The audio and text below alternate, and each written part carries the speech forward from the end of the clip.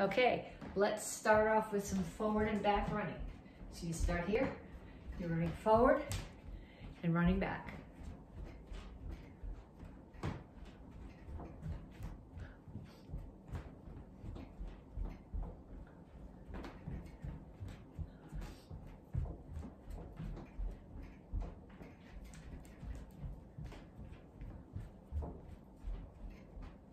And then punches. Keep your hands up, keep your feet moving.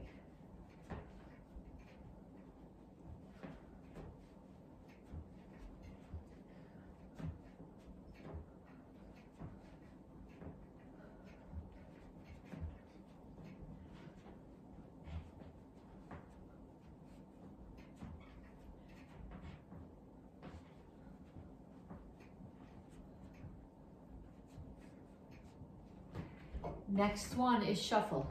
Um, either side to side or front to back, depending on how your space is.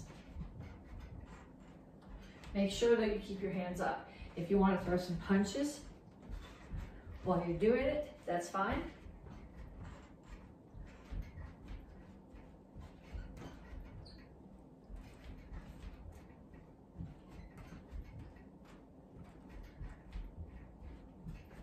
And knees.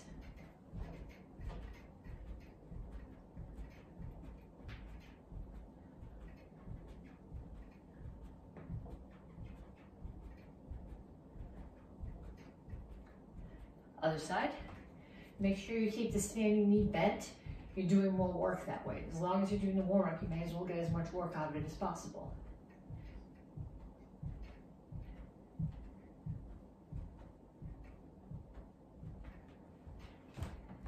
And ladder steps.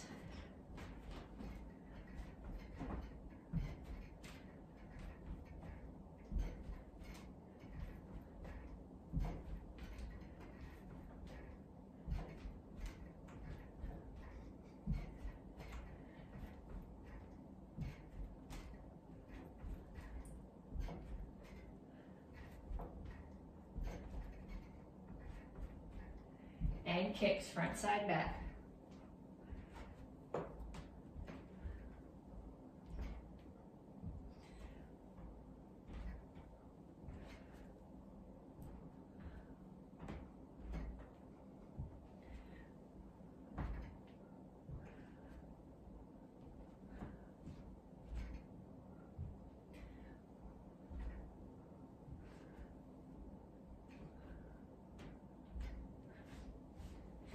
Okay, check your pulse.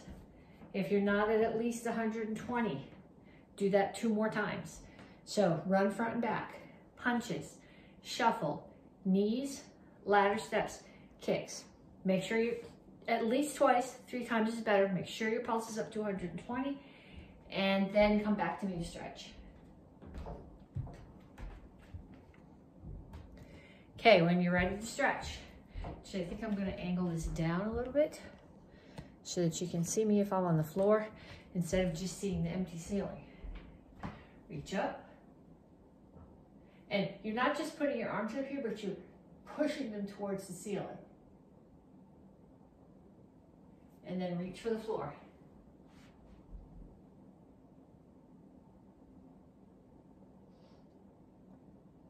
Over to one side, grab your ankle, pull your chest to your knee. Keep your chin up. And down in the side stretch. You want to have both heels on the floor here.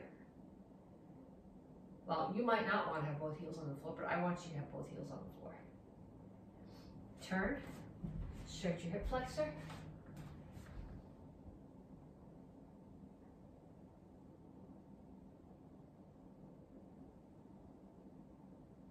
And then straighten out your legs. All your toes are facing in the same direction. Both knees are straight. Chin is up. Back is flat. Reach down over the front leg. Chest toward your knee. You should feel this primarily in the hamstring of the front leg. Come to the center. Toes straight forward. Push your knees out. Other side, grab your ankle.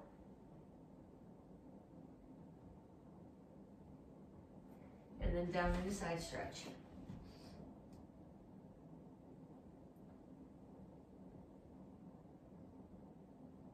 Turn, stretch your hip flexor.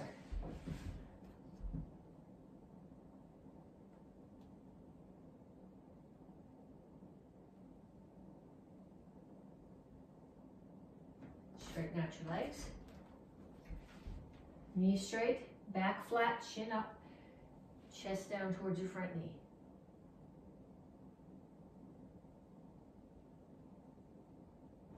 Have a seat. Bottoms of your feet together. Okay, if you can put the bottoms of your feet together and still keep your back flat here, not rounded like that, go ahead and put both hands on your knees. If when you let go, it rounds your back, take one elbow or one arm, tuck it there to force your back straight, and just use your hand to pulse one elbow, one knee down.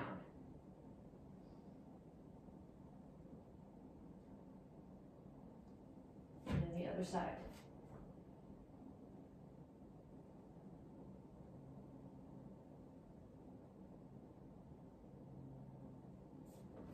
Okay, put one foot out, pull the other foot across. If you can pull this one in and still keep both butt cheeks on the floor, pull it in. If pulling this one in gets one hip up off the floor, keep it straight out.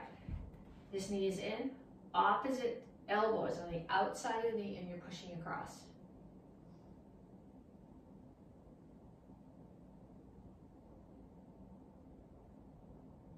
And then same thing on the other side.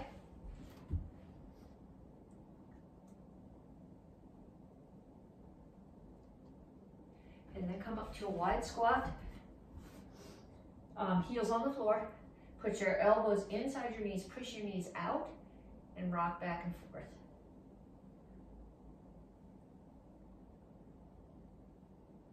And put your hands flat on the floor and straighten out your legs.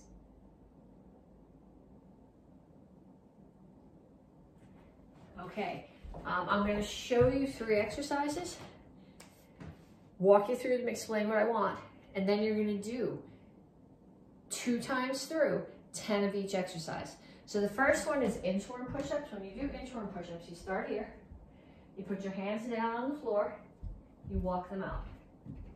Okay, you can either stay here on your toes or drop to your knees. In either case, your back is flat. So none of this,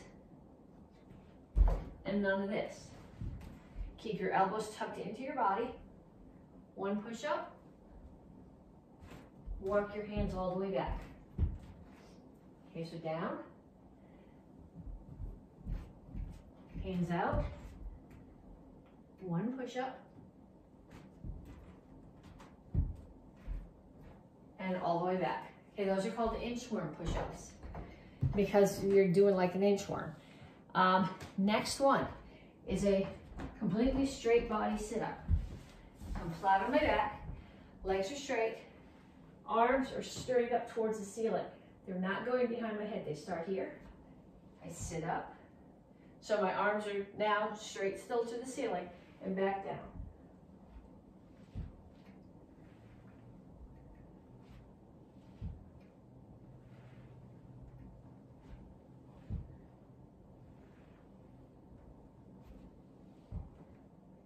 Then we've got one more. The last one is a squat and lunge. So when you do a squat, you want your feet, people will tell you shoulder width apart. My shoulders are only about that wide apart. That's way too narrow for me to squat. It's got more to do with how, how long your legs are and how flexible they are. So I got mine out about here. Toes need to be straight forward.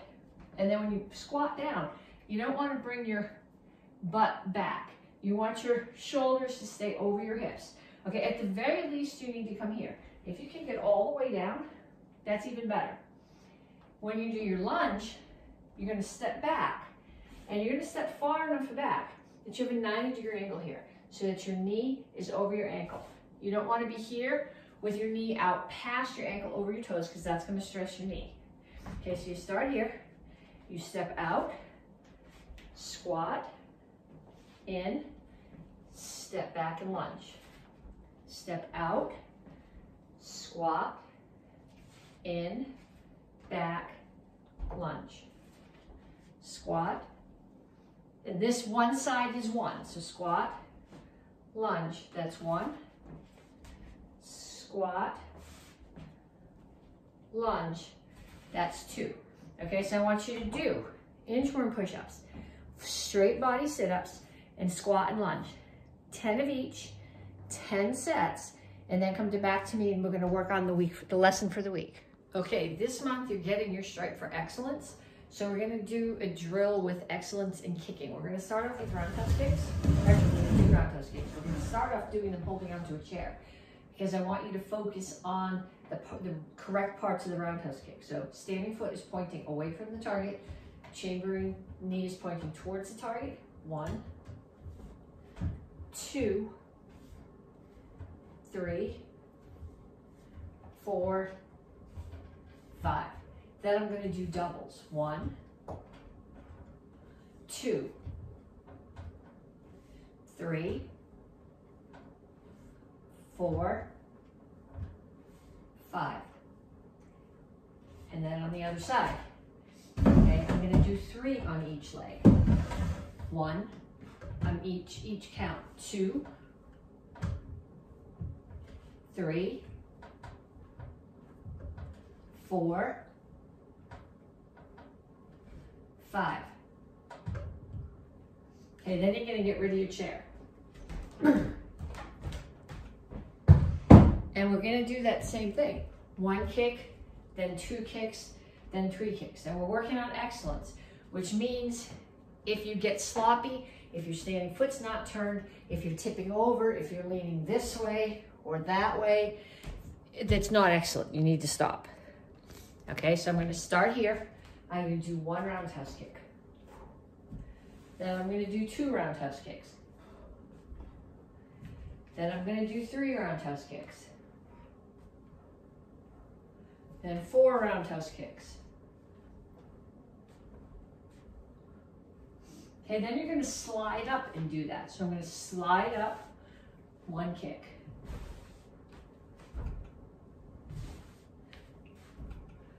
Okay, then same thing on the other side.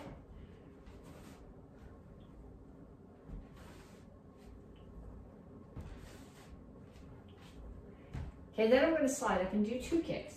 And now the fact that you need to balance for two kicks, you still need to focus on excellence. So this the, the, the kick still needs to be technically correct.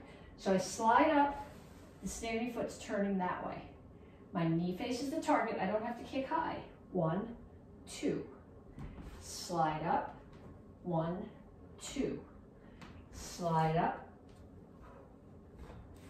Okay, then same thing on the other side.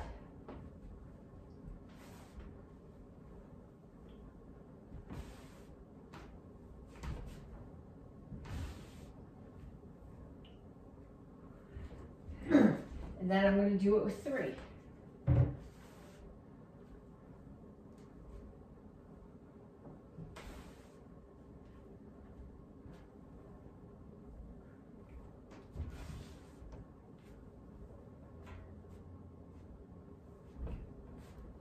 then the other side.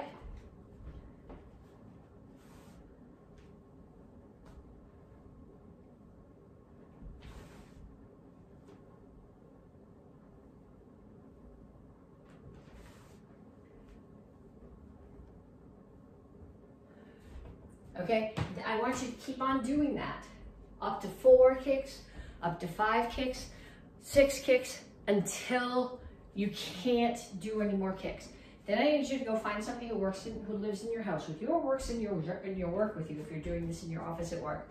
And ask them to offer you a target. Target can be their hand, can be a focus pad, it can be a piece of paper held out this way if they're worried about getting hit. And you're good, they're gonna hold it up and you're gonna kick one, then two, then three. Okay, until you fail. Okay, this would be failing. Okay, that's the fact that you're still standing on your foot kicking, that doesn't count. You have to hold your form for it to count. Then you hand the target to your, the partner hands the target to you and you hold it while they do the same thing until they fail. The goal is to be able to do more standing without tipping over than your partner can. Okay, so you're getting your stripe this month for excellence, and if you're in the kids class, you're getting your star for courage. So what I'm looking for for courage, um, it, teens and adults, you can do this if you want to too, but for kids, is to have somebody videotape you doing as many roundhouse kicks in a row as you can, and then post it either on social media or to the McCoy's Action Karate page. Okay, except for Chill Sung Solo, you guys have seen all of your form. This month they're working on excellence, and um, I want you to think about excellence comes from all the other things that we worked on. Power, where are you generating your power from? What do your stances look like? How are you rotating your indexes, your chambers? Um, but also, in order to be excellent, you have to have it burned into your muscle memory and you got to be able to do the form, which is a way to practice self-defense, even while you're doing something else. So you have to be able to throw something in or add something or have something happen that's not going to screw you up doing your form. Okay, so we're going to start off with basic form one. And I'm going to, every time I'm in shingle chassis, I'm going to, the next move, I'm to do a back leg front kick to land in shingle chassis. So I'm to do basic form one, one, two, one, two, one, two, three, four, one, two. There's not really enough room for a stance there. One, two, one, two, three, four, one, two, one, two. Okay, if that messed with your brain, do it again, or do basic form two the same way. Okay, then we're gonna do Chill Sung Yul Row. Not gonna do it exactly the same, because if we do them all exactly the same, then there's no challenge. So for Chill Row, we're gonna start here, and first move, we're gonna look, block, block, cut. Pull in, knee, push them away, front kick, punch, punch. That's what would be punch, punch here. Look, turn, block, block, cut. Pull in, knee, push them away, front kick. Push, punch, punch. Okay, come to the center, block. One, two, three. Next move is a cat stance. So from the cat stance, on the next count, I'm just gonna shift my weight back. Front kick, step and punch. Same thing on the other side. One, shift my weight back, step and punch. One. Okay, every place here now that you're doing a kick, you're going to do three of them. One, two, three. Yes, I'm messing with your balance. That's what I'm trying to do.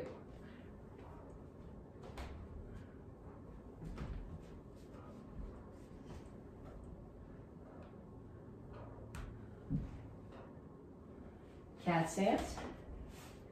So you're going to do a front kick into the next move. Cat stance. Front kick into the next move. Okay, King on E done. Let's see. Um, I'm just gonna throw some random kicks in there. I'm gonna talk to you while I do it, and I want you, after you've done it with me, to throw some other random stuff in and chat with somebody while you're doing it. So we're gonna start here. We're in a cat stance. Okay, same thing. Except I'll do it from the second cat stance this time. Okay, here we're working on the machine gun kicks that we did at the very beginning. One, two, three, four, five.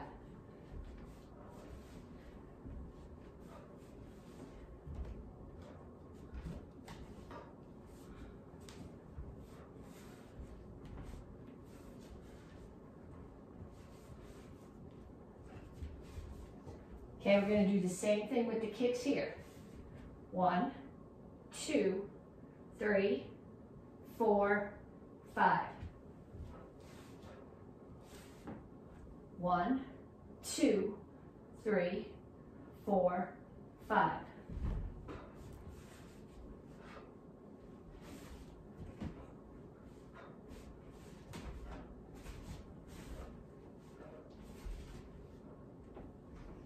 Okay, so if you're a gup, you're done. I have two more forms to do with the, with the, with the Sado black belts.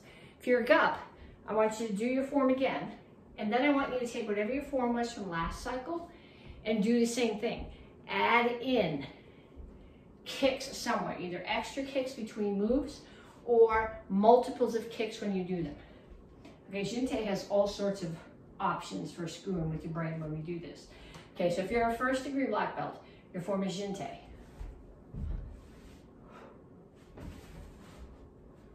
Crescent in, crescent out, crescent in, crescent out, crescent in, low block.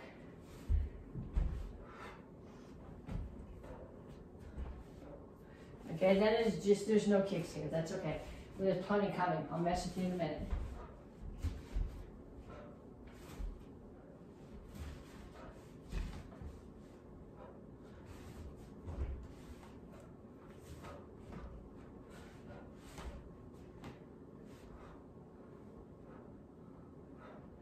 Okay, let's do at least three.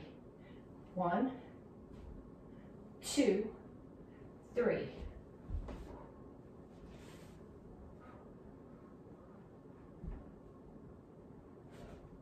One, two, three.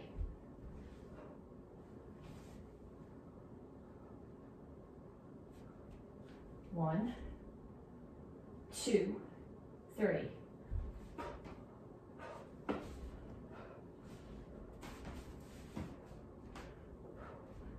Two, three, just because we can, and back.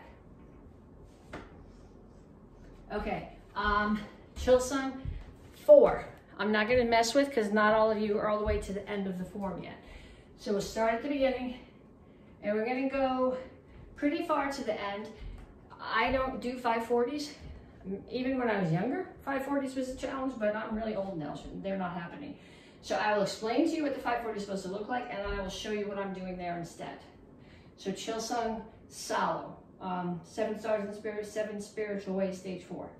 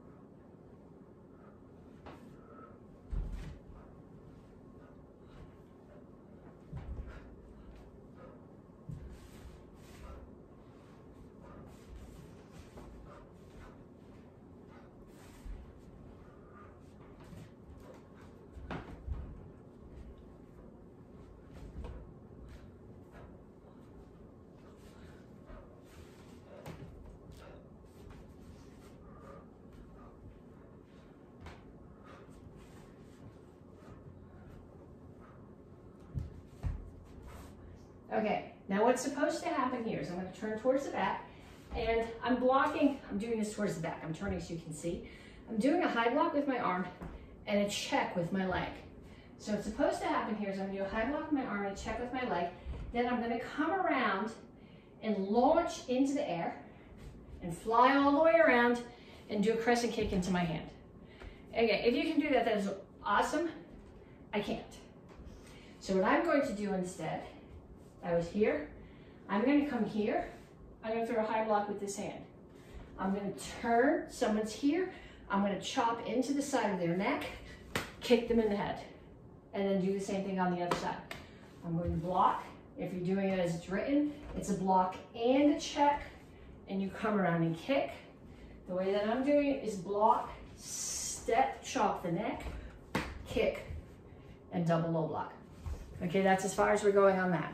Um, we have a few more phrases. We'll be done by the end of the month.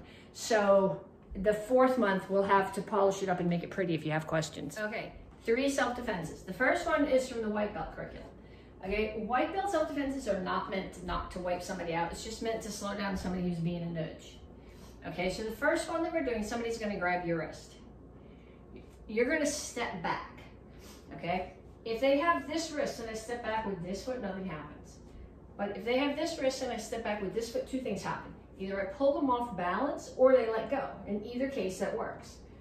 Okay, so what I'm gonna do is as I step back, I'm gonna chamber this hand to do a high walk and slide down and slam it into their wrist. I'm gonna slam my arm into their wrist. Okay, so I'm here, they grab, they pull. I step back, block, and then violence. Whatever, there's, there's not a right or wrong answer on the violence. Do you have to do a punch there? Do you have to do a kick? But you have to do something to get away so that they don't grab you again. Okay, so here, they grab, step back, low block, and then get away. Okay, next one that we're gonna do is from the orange and blue belt curriculum. It's called Shiyanagi. In the kids class, we call it chicken wing. I don't know why. Years ago, we used to call it bat wing because we didn't know any better. And then somewhere along the line, somebody discovered it had a Japanese name, which makes sense because it comes from judo. It's called Shiyanagi. There's lots of ways to do it. We're going to do it right now off a punch. Okay, so somebody, and actually, I, I, really, I have nobody to throw here. And if you take class from me outside, we're not throwing anybody anyway. The important parts are get out of the way and do damage. The throw is just gratuitous violence at the end. Okay, so the damage that we're gonna do, this person steps in, they're stepping in with their right foot and throwing a punch with their right hand. I'll do this in the other direction too. I'm gonna get out of the way and block. I'm gonna parry. My parry comes from underneath my block. It's the back of my hand. It slides down their arm and then it grabs this part of their hand. I turn their arm up so their elbow is facing down. Elbows bend this way very happily. They don't want to bend that way. So I've got their hand. I pull, and I'm to take my bicep and slam it into their elbow. Okay, after that, Shiyanagi, you turn so that your shoulder blade to shoulder blade, you're behind them, and you break their balance and throw. But I don't have anybody to throw, and I don't know if you have anybody to throw to practice in your house, but get out of the way and defend yourself is far more important.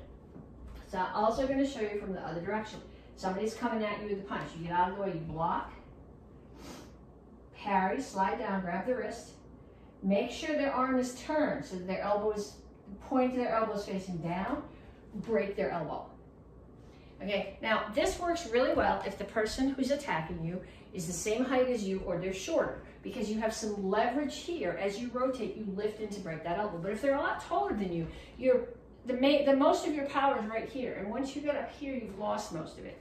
So that alternately what you can do is block, parry, grab their arm and pull it down towards your hip and then turn and slam your your upper arm, your tricep, into their elbow.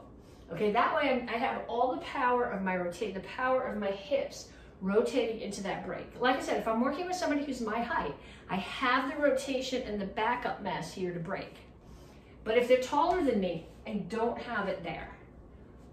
I block, parry, grab, pull down, turn in. So there's my power and this part of my arm is hitting their elbow.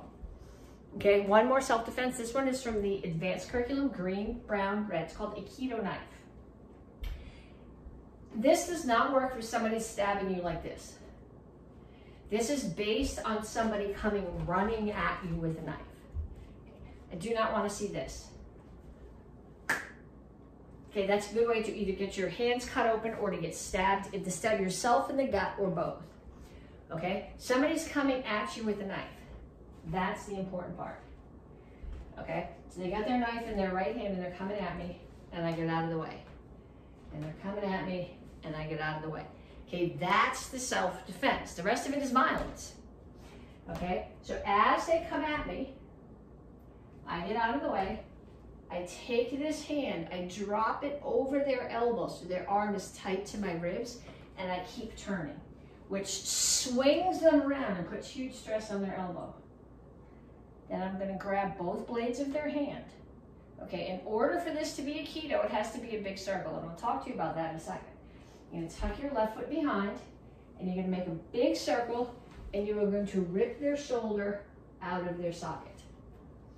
Okay, you do not want to ever practice with anyone like that because you will tear their rotator cuff, okay? It, it, don't do it. So if you're gonna do this with someone to practice, you can go really fast through here, you can go really fast to here, and then you're gonna go really, really slow. Okay? You are judged when you're at your black belt test on if you're a good uke. But it is Tori, the person who's throwing it is Tori's responsibility not to injure uke. Okay, so you never do that. If someone has your arm and they pull across this way and it's tight, you can protect your shoulder. But here, there is no way to protect your shoulder. Okay, so stay attack, you get out of the way, you grab, you make the wrist lock, you step behind, and then you slowly come around.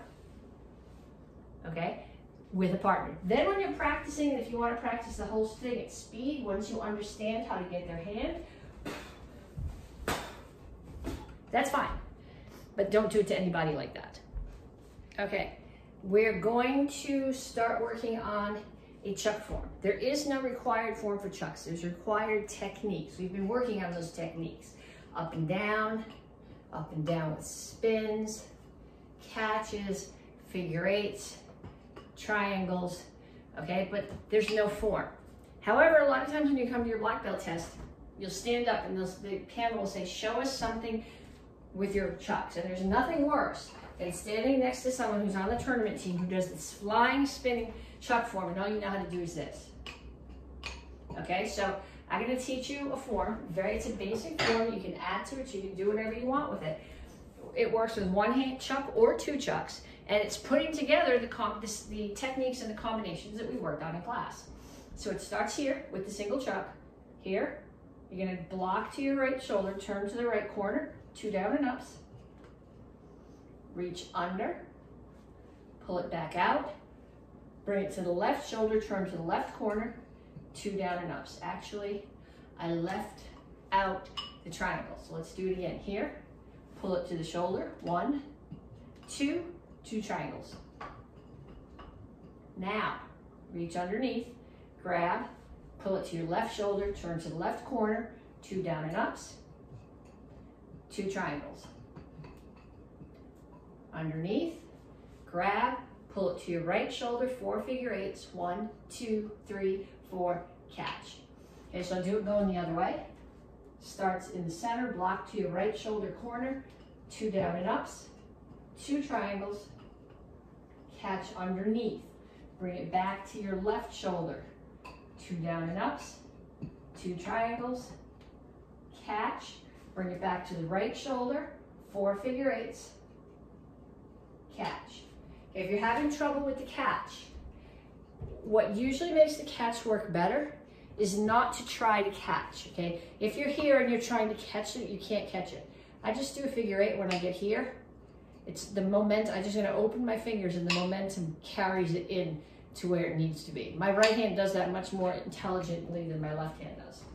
And then you're gonna do the same form with two chucks. Okay, obviously you can't do the shoulder block with two chucks.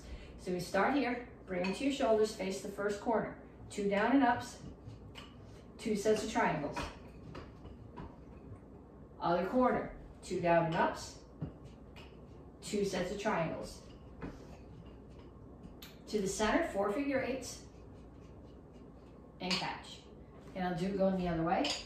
Bring it to your shoulders, right corner, two down and ups, two sets of, of uh, triangles.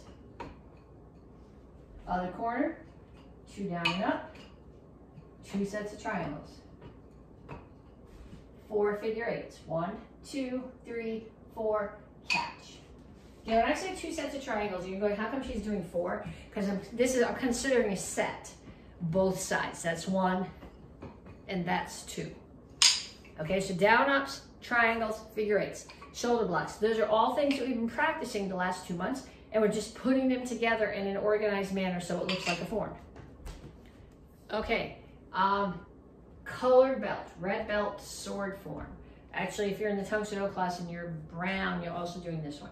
Okay, we, we're gonna review this one more time, and then next week, there's an, this is the this is the required part of the form. There's an option. I keep having people come up to me going, so when are you gonna teach us the other part?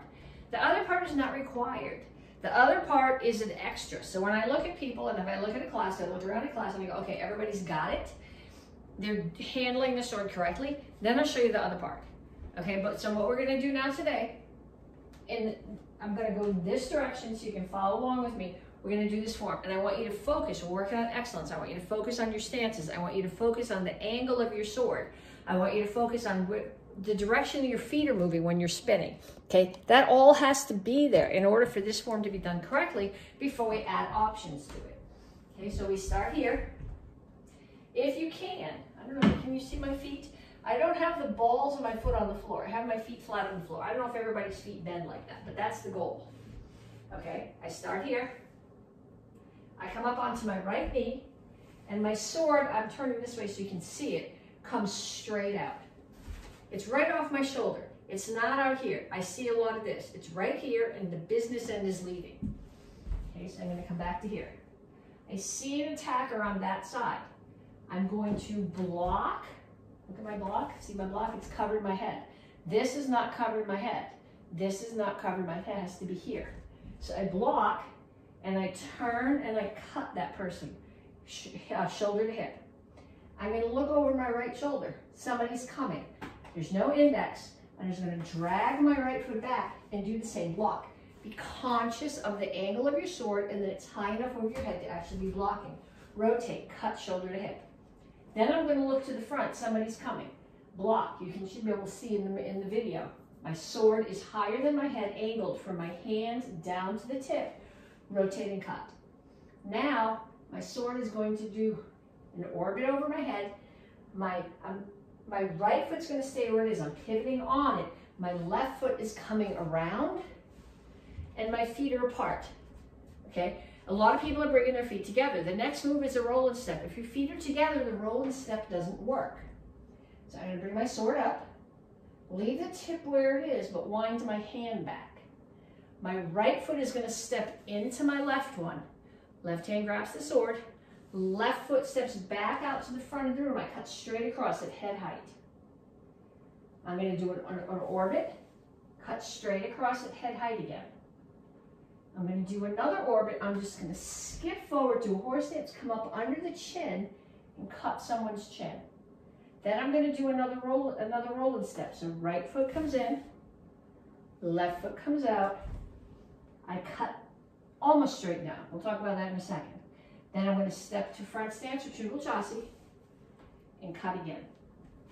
Okay, when you cut straight down, cutting straight down onto the top of someone's head, even with the really sharp sword, you're going to cut a hole, but you're not, the chances are that you're not going to make it through there. I can think of one or two people, they have a perfect sword, might cut through someone's skull, but skulls are really hard. You're not going to cut through the skull. So you're cutting down, but I want you think about the target being the side of the neck, collarbone, okay? You can cut through the collarbone. And then when you do this last move, don't be like this. That's like offering your head as a target. You're leaning forward from your hips, but your back, your shoulders are over your hips and your head is back. Okay, so practice that, practice that, focus on those details, and next week we'll start adding the options. Okay, black belt sword form. Um, we're gonna review what we did and add a few more moves. It starts here, business side is facing you, going on the assumption that it's in a scabbard. Up, switch, I'm grabbing the blade here because there's supposed to be a scabbard. Push it in, bow, um, step forward, draw it out of the scabbard. Bring it back, left knee down, set your scabbard down, up, to the back. Right foot, left foot, right foot. Pull back, crane stance and stab. Basai chassi, basai chassi, left foot steps back, cut across, cut across, block. Make sure that you're blocking the not sharp end. If you block the sharp end, it's not going to be useful. Front kick, pump front kick, block again. I'm in Chungul Chassi, my feet, my body's facing to the side. Turn, someone's attacking my foot, I get my foot out of the way. Crane stance, this hand is here. Pull it back to my right hip, Chungul Chassi, strike. turn, Basvai So I'm pulling the sword in against me, step to the side, left Chungul Chassi and stab. Pull it back in, come all the way around to the front, left foot again, Chungul Chassi and stab. I'm gonna step back just so I don't run into the, uh, the light here. Um, I am going to pull back to cat stance, sword is up, step to Chungul Chassi and cut down and across. Come to cat stance again, cut up and across. Plant my weight on my left foot, pivot around it. I'm gonna come to that, to the other side in a right Chungul Chassi and cut down. Step forward to left, cat stance again, cut up. And then I'm going to do the same block I did before, except before my hand was here and now it's here. Okay, practice that and next week we'll add some more.